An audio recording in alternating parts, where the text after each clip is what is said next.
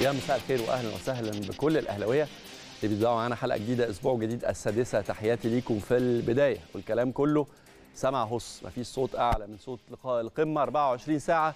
تفصلنا عن مباراه منتظره. تبقى الحقيقة مباراه الاهلي والزمالك بصرف النظر عن كل حاجة محيطه بيها. حاله العك وحاله الصراع اللي إحنا عايشينها في الكره المصريه. نحاول نفصل منها وناخد هدنه عشان نتابع لقاء القمة المنتظرة. الحقيقة أنا طول عمري يعني بشوف إنه يوم المباراة دي بيبقى يوم عيد للكرة المصرية. يعني بحس إنه مصر كلها ما بيبقاش فيها عندها حاجة أهم من متابعة لقاء القمة بين قطبين كبيرين شئنا أم أبينا. حالة الصراع اللي بينهم الصراع اللذيذ الصراع اللي في إطار طبيعي في إطار منطقي في إطار يقبله أي حد بيمارس رياضة طبعا.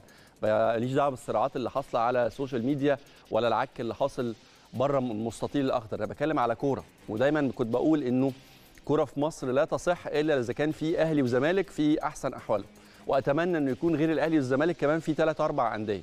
لو وصلنا للمرحلة دي الحالة دي من التنافس في الأطر الطبيعية. أنا ما بتكلمش على المنافسة الغير شريفة بتكلم على المنافسة الشريفة. أعتقد إنه المكسب الحقيقي هيعود على الكرة المصرية وعلى منتخبات مصر بشكل كبير لكن يبدو إنه ده لا في ناس بتخطط له ولا في ناس بت بت بتحاول انها تحققه لكن في النهاية تبقى المباراة دي مباراة مهمة جدا بالنسبة لأغلب جماهير الكرة المصرية بما إنه الفرقتين دول هم أصحاب الاكثر شعبية على مستوى مصر ومستوى الوطن العربي ومستوى إفريقيا كمان. مش ببالغ لو قلت حتى على مستوى قارة إفريقيا. أتمنى إن شاء الله يكون لقاء ممتع لقاء فيه كورة حلوة لقاء فيه منافسة كبيرة جدا. ونتمنى إن شاء الله الفوز والتوفيق لرجالتنا. بكرة واطمنكم عليهم عشان في كلام كتير والناس قلقانة من الغيابات والناس قلقانة.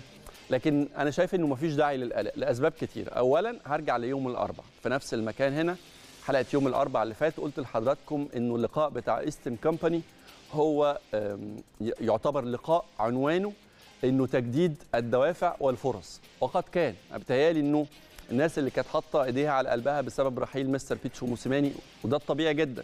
في أي مكان في العالم مش بس في مصر. رحيل جهاز فني في نص الموسم ممكن يعمل ربكة لأي فريق لكن القصة في الأهلي غير.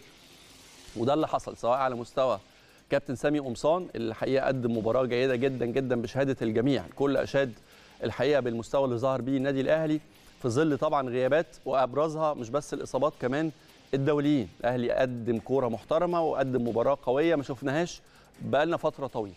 والاختبار الأصعب ممكن يكون بكرة. واعتقد انه بكره من وجهه نظري برضو الدوافع هتزيد شوية. ليه؟ لأنه ماتش الزمالك بطوله خاصه.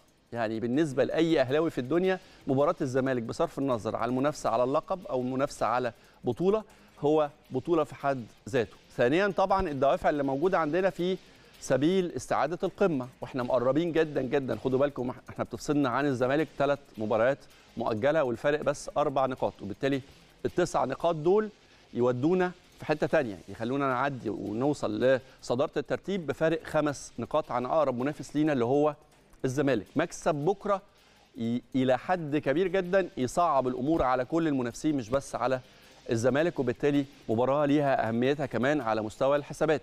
بالتالي إن شاء الله بكرة نتمنى إن شاء الله عرض قوي. مش هقدر أخش في تفاصيل. النهارده تمرينة مغلقة. فريق مركز جدا جدا جدا. بس بشكل عام أطمنكم على جاهزية جميع العناصر بما فيها العناصر الدولية اللي رجعت ودخلت في جو وفي أجواء يعني استعداد لمباراة بكرة. النهارده معايا مفاجأة كبيرة في حلقة النهارده بس مش هقولها من البداية. خليكم متابعينا وأنتم تعرفوا مين هيكون ضيفنا النهارده واحد من أكبر الأسماء في عالم التدريب على مستوى العالم. حقق إنجازات وحقق ألقاب هي الأكبر سواء كبطولة لمنتخبات زي بطولة كأس العالم أو بطولة لأندية زي بطولة دوري أبطال أوروبا. هيكون ضيفنا النهارده في السادسة بس اسمحوا لنا قبل ما نبدأ حلقتنا نروح لفاصل سريع ونرجع نقابل حضراتكم مرة ثانية في السادسة.